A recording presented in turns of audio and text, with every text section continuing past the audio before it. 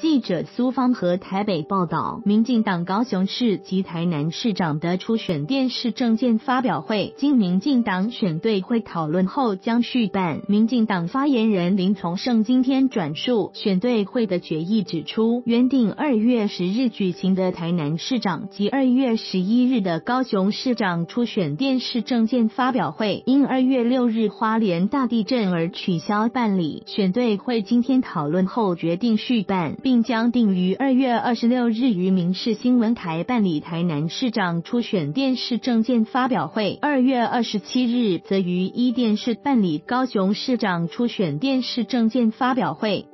此外，民进党今天召开中执会，会中也通过二零一八年直辖市议员选举提名初选相关作业事项。民进党发言人林从胜转述表示，中执会中通过二零一八年直辖市议员候选人提名入党资格需连续满两年，以二零一八年十一月二十四日为计算基准日，并将收取登记费新台币二十万、民调费二十万、保证金十万。总计五十万元，同时授权二零一八年选举对策委员会成立协调小组及督导小组。